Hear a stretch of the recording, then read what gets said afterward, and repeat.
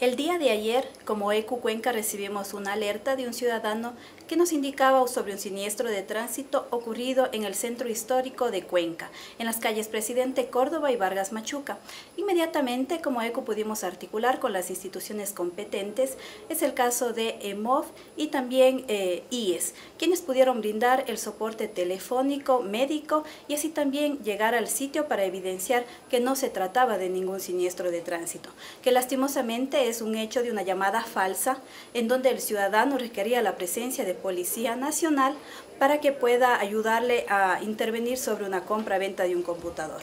Tenemos que indicar que en vista a esta llamada falsa, inmediatamente actuamos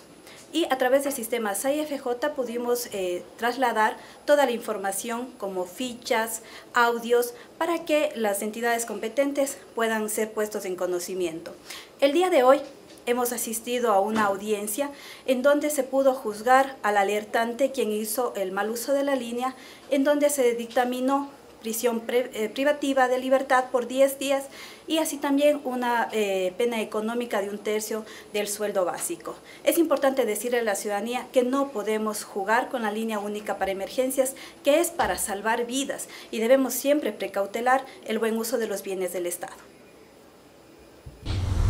www.achiras.net.es, el portal de Girón.